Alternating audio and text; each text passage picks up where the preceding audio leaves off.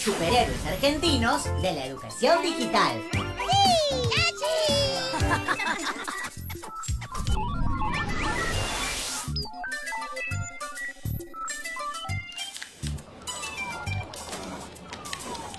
Ah, ¿ya es la hora? Bienvenidos a una nueva aventura. Uy, perdí.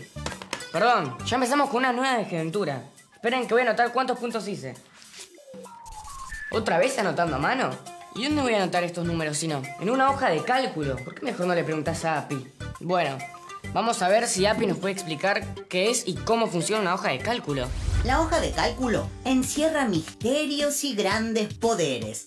Un super recurso digital para manejar números. Permite hacer sumas y restas, entre otras cosas. Y realizar gráficos y tablas. Nos ayuda a procesar los datos y números que cargamos en ella. Entonces, cargar los puntos que hice en una hoja de cálculo me va a ayudar a ordenarlos. Esta es una nueva misión para los Digi Héroes. ¡Super Tablet! para empezar, tenemos que abrir un libro de cálculo. Se llama libro al archivo que vamos a usar. Este tiene varias hojas de cálculo, que es donde cargaremos nuestros datos. Para organizarlas, se les pone un nombre que las identifique. Podríamos ponerle tabla de posiciones.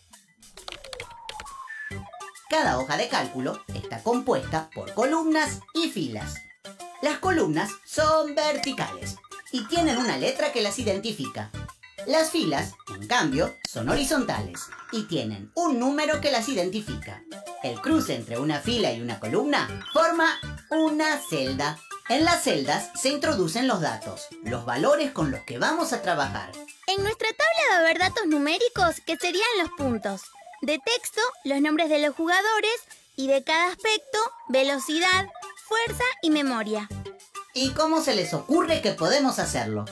Podemos hacer una pestaña por cada aspecto y adentro poner en una columna los nombres de los jugadores y en la columna de al lado los puntos que hizo cada uno.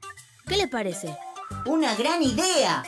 Para escribir, hacemos clic con el cursor sobre la celda elegida y tipeamos. Jugadores.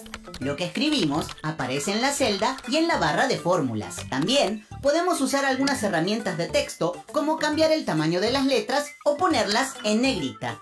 Esto sirve para resaltar lo que escribimos. Bien, ahora queda cargar los puntos de todos y listo. A ver. En la hoja de cálculo podemos ordenar los datos que escribimos. Para eso, hacemos clic en ordenar o filtrar datos y elegimos el criterio que queremos usar. Si se trata de texto, podemos ordenar las palabras de la A a la Z o de la Z a la A. Si en cambio se trata de números, podemos ordenarlos de mayor a menor o de menor a mayor. Está bien, con esta tabla podemos saber quién ganó. Pero no podemos ver todos estos datos de manera más clara. Quizás API nos puede ayudar. ¡Listo!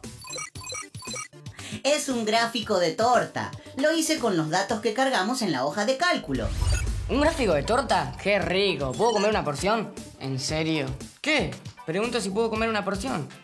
Es un gráfico que se llama de torta, ¿se entiende? Pero es malísimo ese chiste. Dale, deja que siga Api. Bueno, está bien. Seguí, Api. El gráfico es una forma de representar los resultados de manera ordenada y visualmente organizada. Para hacerlo, ingrese los datos de la encuesta. Aventuras, un voto. Acción, dos votos. Y carreras, tres. Y después, genere un gráfico con esa información. El gráfico de torta es ideal para comparar cantidades.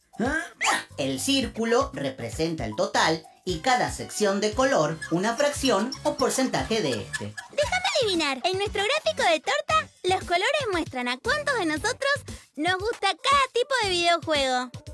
¡Exacto! Para que un gráfico pueda entenderse, tiene que tener un título. Y etiquetas que nos muestran a qué corresponde cada parte del gráfico. ¡Ja! ¡Somos los superhéroes Listo. Ahora que sabemos usar una hoja de cálculo, voy a superar todos mis récords y anotarlos. Uh, ya perdí. Bueno, ya aprendí a anotar los puntos. Ahora tengo que aprender a ganarlos. A seguir practicando. Hasta la próxima.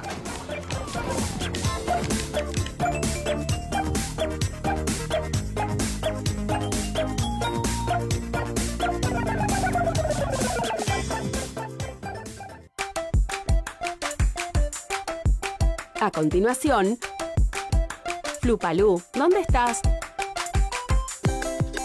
Acá, en Pacapaca. Hola cazadores. Nuestra misión, crear en equipo nuevas canciones que